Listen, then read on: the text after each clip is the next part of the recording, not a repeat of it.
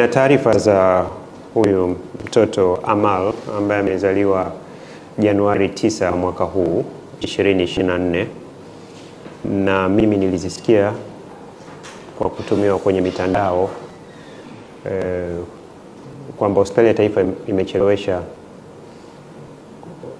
rufaa ya huyu mtoto kwenda kupandikizwa ini. Uh, sasa la, na, na, naomba nianze kwa kusema kwanza, ni kweli mtoto Amal tulimwona na tukagundua kwamba ana tatizo la ini ambalo halina matibabu mengine mbali na kupandikiza ini. Na hospitali yetu ya taifa na nchi kwa ujumla, kwa sasa hivi hatupandikizi ini, lakini mchakato wa kuwa na hizo huduma za kupandikiza ini ziko kwenye hatua za mwisho kabisa. E, kwa hiyo mtoto alifanyiwa utaratibu wa kawaida wa kupandikizwa na mama mzazi wa mtoto alifahamishwa kwamba nani atatoa ini, kwa sababu huwezi kumpeleka India bila kuwa na mtoaji au dona, na yeye alijitolea kwamba mimi ndo, kwa sababu ni mtoto wangu, mimi nataka kutoa ini. Mama akapewa maelezo ya kina kabisa kwamba wakati tunafanya huu mchakato wa mtoto kupelekwa, wewe kama mtoaji, wewe binafsi inabidi uchekiwe kwanza kwamba je, ini lako, afya yako kiujumla ipo sawa sawa, kwa sababu kwa hatua ya hospitali yetu kama hospitali ya taifa kukuchukua wewe kukupeleka India, alafu ifike India kwamba wagundue kwamba haufai kama mtoaji ini, itakuwa sio jambo sahihi sana. E, nafikiri mama hakuridhika na hilo, aliona kwamba kuna ucheleweshaji sasa unaletwa. Ndio bahati mbaya hizo taarifa zikafikia kwenye jamii, na jamii bila kusikia upande wa pili zikaanza kuona kama hospitali inachelewesha. Kubwa tulofanya sisi, tuliendelea kumsihi mama lazima aje kwa ajili ya vipimo, na akafanyiwa vipimo vyote.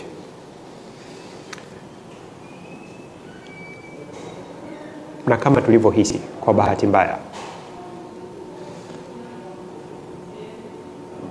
kwa hali ya afya kwake aliyokuwa nayo sasa hivi, hawezi kumchangia mtoto wake ini, kwa sababu kwanza tulichomkuta ana uzito mkubwa, ana kitu kinaitwa body mass index kubwa. Ili uweze kuchangia ini, uzito wako unatakiwa kuwa chini ya body mass index ya 29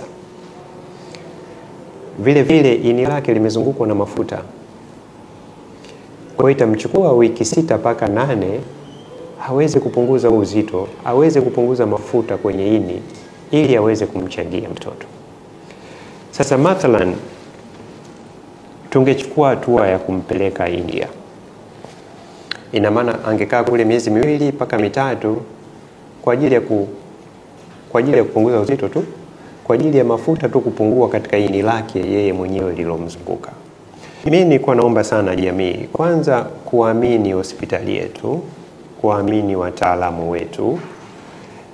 na bahati mbaya hatuwezi kuwa